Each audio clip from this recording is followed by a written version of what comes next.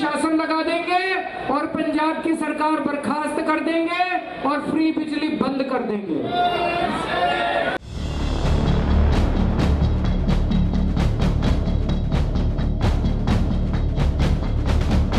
दिल्ली के सीएम लगातार पंजाब के दौरे पे हैं क्योंकि लोकसभा चुनाव को महज अब तीन दिन रह चुके हैं और आपको एक बार आज हम जीरकपुर का माहौल दिखाना चाहेंगे। आज अरविंद केजरीवाल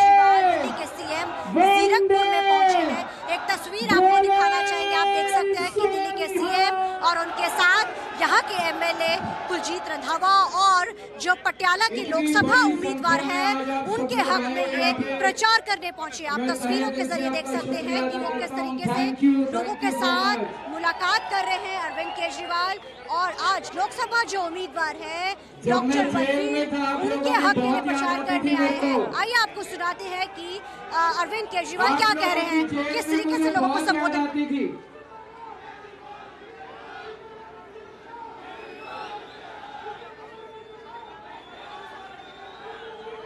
आप लोगों को मैंने जेल में बहुत मिस किया।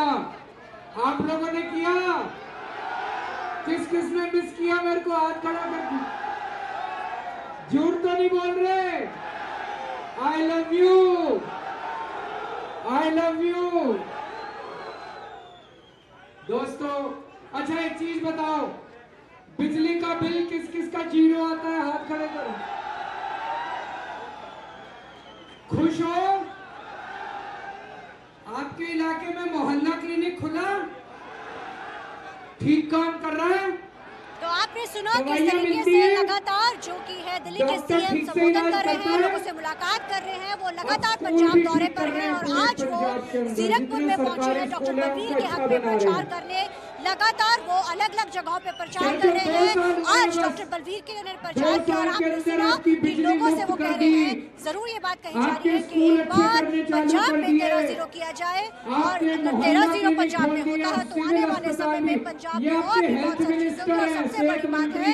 कि पंजाब की सीएम की तरफ़ से आज एक बड़ी अनाउंसमेंट की गई है जिसमें हल्के की तरफ़ से। से साफ़ तौर पर कहा गया कि महिलाओं को अब ज़्यादा जो है पहले हज़ार का वादा था और चुनाव के हैं महिलाओं। को भी फ़ायदा होने वाला है। महिलाओं का जो वादा था पंजाब सरकार का उसको भी पूरा किया जाएगा। अब महिलाओं को हज़ार नहीं बल्कि ग्यारह सौ दिया जाएगा। तो आप लगातार सुना अरविंद केजरीवाल ने जो दिल्ली के सीएम है। लगातार पंजाब दौरे पर है। आज उनके पंजाब दौरे का तीसरा दिन था। लोगों से तो लगातार अपील की जा रही है। जन जन में जाके लोग सभाएँ कर रहे हैं लोगों से मुलाकात कर रहे हैं। लोगों से कहा जा रहा है की जब जिस तरीके का प्यार उनको विधानसभा चुनाव में दिया गया है सही उस तरीके का प्यार उनको इस बार लोकसभा चुनाव में देंगे तो ज़ाहिर है पंजाब का विकास और। होगा कैमरामैन मैन अजय तक के साथ सरकार का चुनाव। जीरकपुर से टीवी नाइन के लिए